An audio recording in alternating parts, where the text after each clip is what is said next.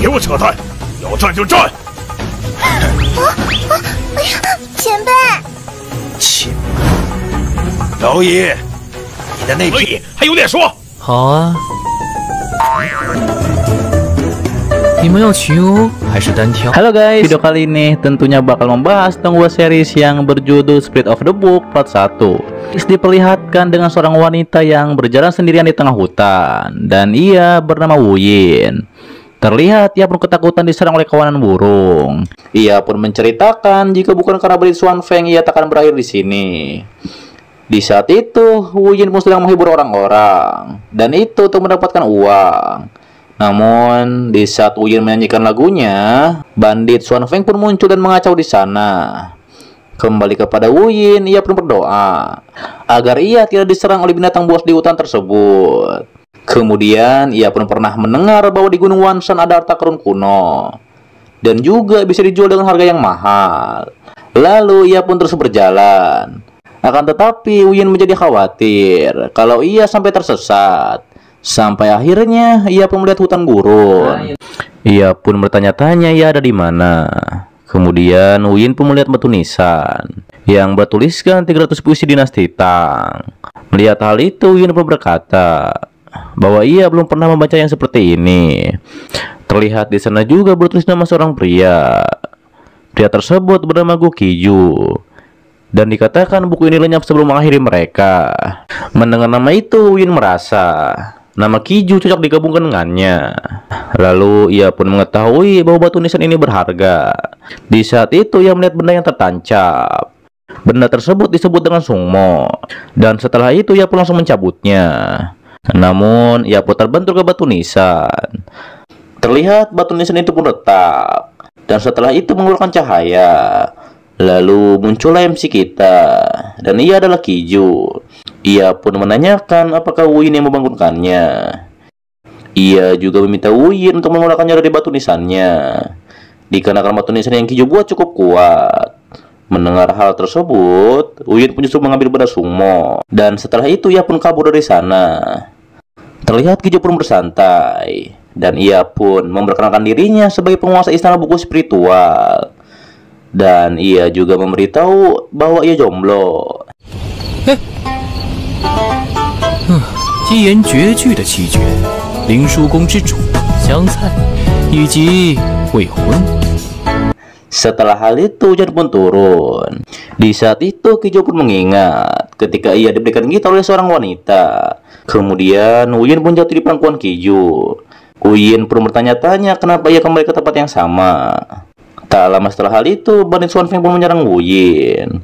Akan tetapi justru Wu Yin bermesraan dengan Kiju. Bandit Swan Feng yang melihat hal itu, mereka pun mengejar Wu Yin.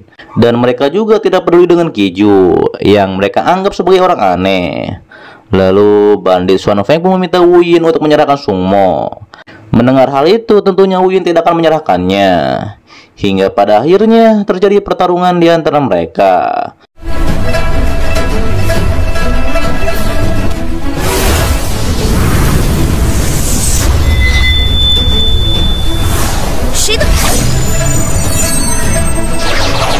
Ketua Bandit juga memberitahu ia telah mengembangkan ledakan pedang sihirnya selama 30 tahun.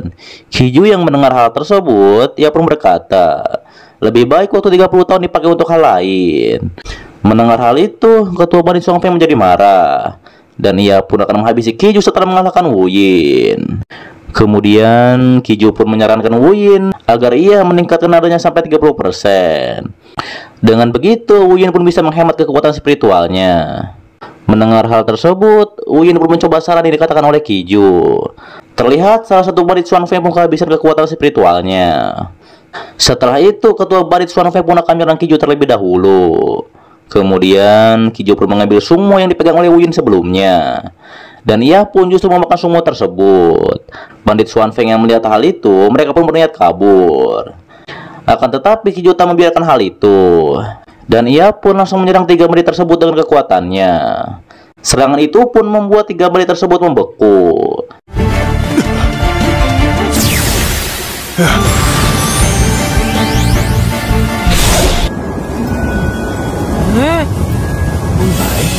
千树万树，梨花开。为什么会有暴风雪？ Setelah hal itu, Wuyun berkata bahwa ia tidak butuh Sungmo lagi. Ia juga mengatakan biarkan ia pergi.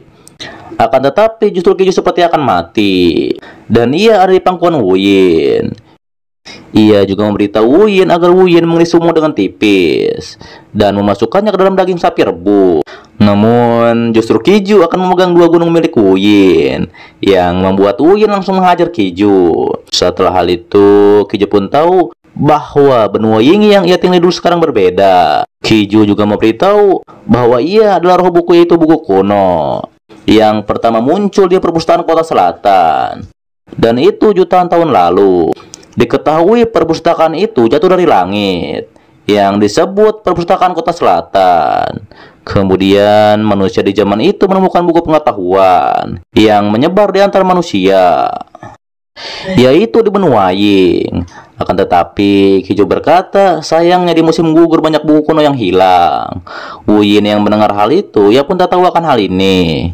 Kijo pun menjelaskan bahwa jutaan tahun lalu cukup untuk menyembunyikan kebenaran. Kiju juga mengatakan ia adalah salah satu dari roh buku kuno.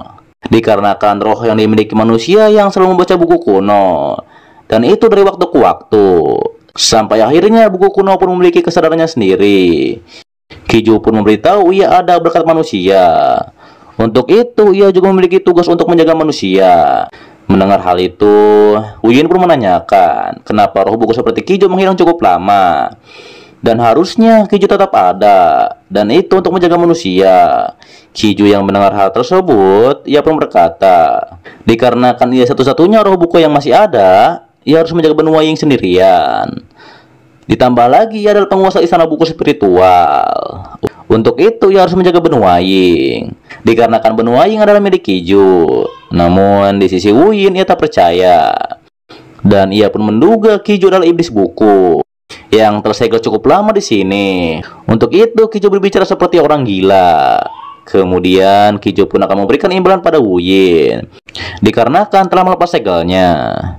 Di saat itu, Yin pun berpikiran bahwa Kiju bisa mengabulkan permintaan seperti teko ajaib dan juga seperti Dragon Ball. Lalu, Uyin pun meminta 500 ribu batu sihir. Namun, Kiju justru akan menjadikan Wuyin sebagai ratu di istana buku spiritual. Mendengar hal itu, Wuyin pun langsung kabur. Sampai akhirnya ia pun sampai di atas pohon. Akan tetapi ternyata Kijo ada di sana. Dan Kijo pun meminta Wuyin untuk membawakannya kursi roda. Mendengar hal itu, Wuyin pun menjadi kesal. Dan ia pun berpikir Kijo hanya menggunakannya sebagai alat. Kemudian Wuyin pun akan kembali ke kota Tian Yuan. Akan tetapi Kijo memberitahu bahwa ia berlepas dari segalnya. Dan ia harus ikut ke kota Tian Yuan. Dan itu untuk mengobati sakitnya. Mendengar hal tersebut, Wuyin pun membayang kalau Kijo ikut bersamanya, nanti Kijo akan memerintah seperti raja. Di saat itu, Wuyin mengingat bahwa Kijo berhasil mengalahkan harimau yang akan menyerang mereka. Hingga pada akhirnya, Wuyin pun akan membuatkan kursi roda untuk Kijo. Setelah hal itu, Wuyin pun melayani Kijo yang sedang sakit. Wuyin juga memberitahu Kijo bahwa wilayah benua Ying dibagi menjadi dua, yaitu di wilayah orang biasa dan wilayah kultivator. Terlihat Kijo pun melihat peta wilayah. Dan Uyi pun berkata bahwa kota Tian Yuan termasuk wilayah kultivator. Terlihat tadinya Wuyin menyuruh Kiju kembali ke istana buku spiritual. Namun Kiju akan tetap ke kota Tian Yuan dan ia akan mengobati sakitnya di sana. Setelah hal tersebut, Marik Xuan Feng pun menyerang. Hingga akhirnya mereka berdua pun terkepung.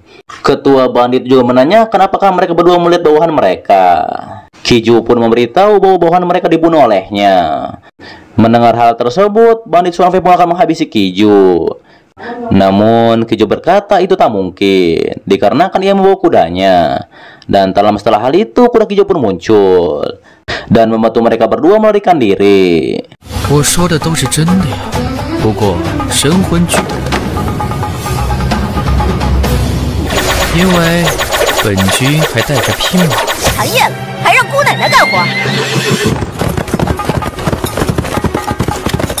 Setelah hal itu, Yin pun menanyakan dari mana asal kuda tersebut. Kiju pun memberitahu bahwa kuda itu berasal dari halaman yang robek. dan nama kuda tersebut bernama Abo. Diketahui Kijo merebek satu halaman San Haijing dikarenakan saat itu ia butuh tumpangan. Ditambah lagi Bo juga salah satu dari roh. Mendengar hal itu, Uyan berkata bahwa ia tidak tahu apa yang mereka bicarakan. Namun, ia pun memberitahu bahwa kelompok Bani Swan Feng akan segera menyusul. Bo yang melihat hal itu, ia pun meningkatkan kecepatannya. Hingga pada akhirnya terjadi aksi kejar-kejaran di antara mereka. Namun, Bo menjadi terhenti dikarenakan terdapat jurang di depan mereka. Kemudian, Bo pun akan memakai gigi tiga sampai akhirnya ia meloncat di jurang tersebut. Setelah itu, Bo pun menghajar semua Bani Swan Feng. Dan ternyata Bo hanya berputar-putar saja. Dan setelah itu menghajar kembali Bani Swan Feng.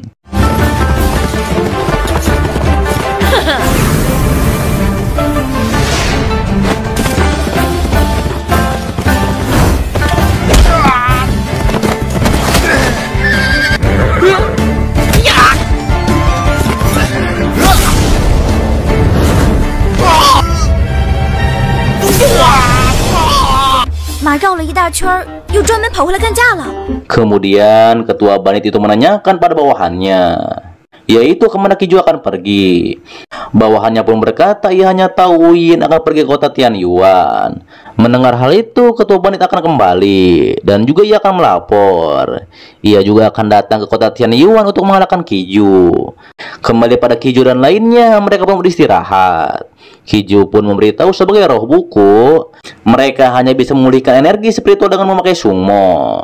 Kemudian, Bo pun kembali ke kertas yang dirobek oleh Kiju. Namun, sebelum kembali, Bo pun meminta banyak hal pada Kiju. Dan itu setelah Kiju mendapatkan yang lebih bagus. Uyen yang melihat hal itu, ia pun menjadi heran. Bo juga memberitahu mungkin Jichua dan Aco dan lainnya belum menghilang. Mendengar hal itu, Kijo berkata bahwa ia akan berusaha keras. Setelah itu, Kijo pun meminta Wuyin untuk membuatkan kursi roda kembali. Melihat Kijo yang masih sakit, akhirnya ia pun membuatkan kursi roda. Setelah hal tersebut, Wuyin pun terus mendorong Kijo. Kemudian, sampai mereka berdua di kota Tianyuan. Terlihat Kijo pun berterima kasih kepada Wuyin. Dan ia nanti akan memberikan sepersepuluh benua Ying pada Wuyin. Terlihat orang-orang di kota pun memakai pedang didit. Dan itu sebagai alat keserian mereka. Di sisi Uyin, sebenarnya ia ingin memakai pedang Didi. Namun, dikarenakan ia tak punya uang, ia tak bisa melakukannya. Lalu muncullah kabut siang. Uyin menjelaskan jika ada niat jahat pada kota Tianyuan, mereka tak akan bisa melewati kabut tersebut. Hingga pada akhirnya Uyin pun terus mendorong Kiju. Sampai mereka tiba di rumah Uyin. Kiju yang melihat rumah Uyin, akhirnya ia pun akan tinggal di sana sampai sembuh. Kemudian Uye menjelaskan bahwa di rumahnya banyak bocil. Diketahui bocil tersebut menjual stempel. Dan benar saja terlihat para bocil tersebut sedang berjualan stempel. Kemudian terlihat seorang pria yang ingin dinyanyikan lagu oleh bocil itu. Uyin yang melihat hal itu, ia pun langsung menghajar pria tersebut. Dikarenakan ia mengira pria itu akan berbuat mesum. Lalu terlihat para bocil sangat senang. Dikarenakan melihat Uyin kembali. Kiju pun berkata bahwa Win memiliki banyak adik perempuan. Kemudian, para bocil pun menanyakan siapa Kiju. Win memberitahu bahwa Kiju adalah temannya. Win juga menjelaskan bahwa semua adiknya berkultivasi memakai alat musik. Hal itu membuat Kiju bertanya, kenapa hanya Wuyin yang memakai alat musik? Lalu Wuyin pun menceritakan, awalnya ia hanya berkultivasi dan juga melakukan perjalanan menyeberangi sungai. Sampai di suatu ketika, ia pun sampai di runtuhan yaitu di awal musik dinasti Zo. Dan setelah itu berkultivasi di sana. Ia juga tahu bahwa energi spiritual di sana sangat lemah. Setelah hal itu, Huyin pun membawa adik-adiknya ke kota Tianyuan. Dan mereka membuka kelas musik di sana. Namun, Huyin pun memberitahu kelas musik mereka sedang sepi. Untuk itu, adik-adiknya pun menjual stempel buatan mereka. Kemudian, para bocil memberitahu bahwa saat ini sedang krisis dan mungkin bulan depan mereka tak akan makan. Kiju yang mendengar hal itu, ia pun menanyakan, kenapa Wuyin begitu miskin? Wuyin pun memberitahu bahwa biaya hidup di kota Tianyuan sangat mahal. Untuk itu, ia sangat berusaha lebih keras mencari uang. Mendengar hal itu, adik-adik Wuyin pun menyalahkan itu sendiri. Dikarenakan mereka, Wuyin harus bekerja keras. Dan itu untuk merawat mereka. Kiju yang melihat hal itu, ia pun berkata, nanti Wu Yin akan terbiasa dengan kemiskinan 10 tahun ke depan. Mendengar hal tersebut, Wu Yin menjadi terkejut. Kiju juga memberitahu sebagai roh buku, ia tak bisa berbohong. Kemudian Kijo pun mengatakan dikarenakan Yin akan menjadi ratu di istana buku spiritualnya. Mulai dari sekarang Kijo akan mengurus makanan untuk mereka. Terlihat Kijo pun menyiapkan mangkuk yang cukup besar. Dan tak lama setelah hal itu hujan pun turun. Kiju pun memberitahu bahwa hujan tersebut dibuat oleh kekuatan spiritualnya. Lalu Kiju pun memancing di panci itu. Yin yang melihat hal tersebut dia pun tahu bahwa Kiju sudah gila. Terlihat Kijo pun ingat bahwa ia belum memberikan umpan pada kair pancingnya. Setelah memberikannya, Kijo pun membaca puisi. Dan Kijo pun berhasil mendapatkan ikan liusai. Uyin yang melihat hal itu ia pun tahu bahwa ikan tersebut berada di danau Mingjing. Ia juga mengetahui ikan itu sangat langka, ditambah lagi di pasar Tian Yuan yang dijual dengan harga ratusan batu sihir. Kemudian Kijo pun memasak ikan itu. Hingga pada akhirnya para bocil pun memesan makanan kesukaan mereka.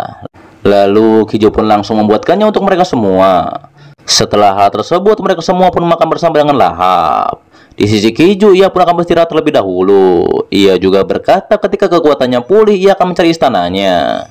Kembali kepada Kiju, ia pun mengingat ketika ia berada di istana buku spiritual.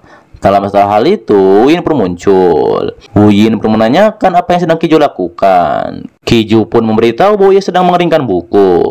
Setelah itu, Kiju pun mengajak Wu Yin ke pasar untuk memberi sungmo untuk memulihkan kekuatannya. Ketika akan pergi, Wu Yin berkata agar adik-adiknya tak menjual stempel kembali dikarenakan mereka akan menjual kemenyan yang bisa menjadi kaya dalam semalaman. Kemudian Win membawa Kijo ke pasar. Win pun memberitahu bahwa mereka harus mempunyai batu sihir dan itu untuk memberi sungmo. Setelah hal tersebut mereka pun masuk ke sebuah tempat. Lalu Kijo pun memberi semua sungmo. Melihat hal itu, Win berkata bahwa Kijo tak akan bisa membayarnya. Akan tetapi Kijo memberitahu bahwa ia akan menyicil. Dan itu setelah ia menjadi raja di benua ini, barulah ia akan membayar semuanya. Kemudian ketika Kijo akan memakai dekrit untuk memberi sungmo, Uyin pun langsung membawa Kijo keluar. Uyin pun menjelaskan Kijo jangan memberi sungmo memakai dekrit, dikarenakan harga sungmo di kota Tianyuan sangat mahal. Ia melakukan hal ini sebagai kebijaksanaan ratu istana buku spiritual nantinya. Mendengar hal itu, Kijo pun mengerti, dan Uyin berkata mereka harus mencari cara untuk mendapatkan uang. Mendengar hal itu, Kijo pun memberitahu bahwa ia tidak ahli mendapatkan uang. Mendengar hal tersebut, Uyin menjadi bingung. Hingga pada akhirnya Win berkata, biasanya ia menjual barang dan juga menyelesaikan misi dari asosiasi kultivasi kota Sian. Dan itu untuk mendapatkan uang. Uyin juga memberitahu bahwa kota Sian tidak memiliki penguasa. Daripada itu, kultivator tertinggi membentuk asosiasi dan juga mengurus kota Sian. Mendengar hal itu, Kiju pun akan mengambil misi. Dan itu untuk mendapatkan uang. Lalu mereka pun sampai di asosiasi. Namun Win berkata jika ada yang aneh Kiju tak perlu kaget. Tak lama setelah itu lelaki pun berebut Dan mereka pun memberitahu mereka akan melamar Win Di saat itu Win mengingat bahwa dalam setahun banyak lelaki yang ingin melamarnya Terlebih para lelaki itu juga tak mau mencari wanita lain Dan mereka hanya ingin Win Dikarenakan Win penyayang dan juga baik hati Melihat hal itu Kiju pun menjadi terkejut Pria besar juga memberitahu Kiju agar Kiju tak berpura-pura lemah dan itu untuk mendapatkan perhatian dari Wuyin. Ia juga berkata bahwa Wuyin adalah miliknya. Mendengar hal itu, Wuyin pun langsung menghajar Yan Sihu.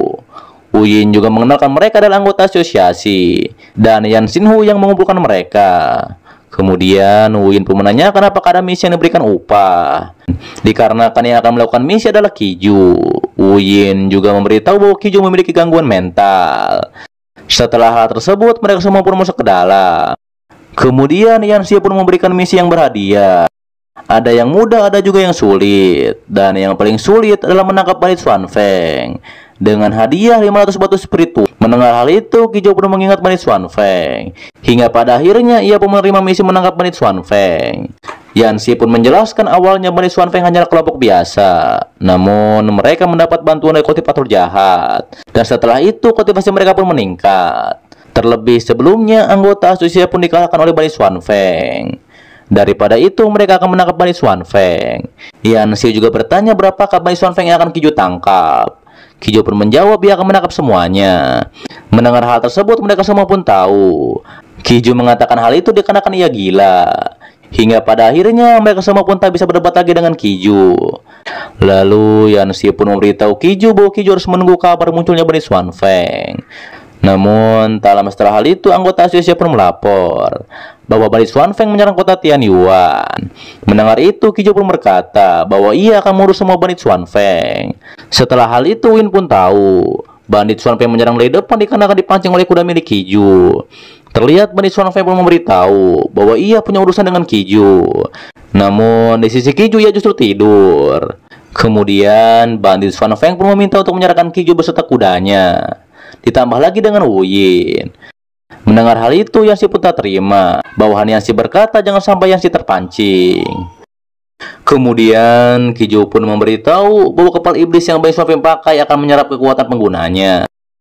Yin juga menjelaskan kepada para bocil bahwa nantinya Bani Feng akan menjadi gila. Kijo pun berkata bahwa ketua Bani Feng sangat berisi dan mungkin ia hanya keluyuran saja. Terlebih Kijo pun memberitahu, ia hanya mengatakan yang sebenarnya. Mendengar hal itu, ketua Bani Suamfeng menjadi kesal dan ia pun menentang Kijo untuk bertarung. Hingga pada akhirnya, Kijo pun menerima tantangan tersebut.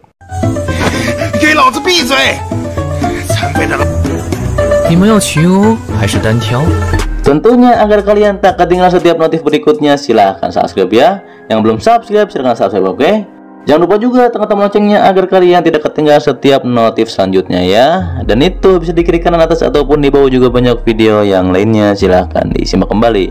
Sampai jumpa kembali di video selanjutnya. Till next time and bye-bye.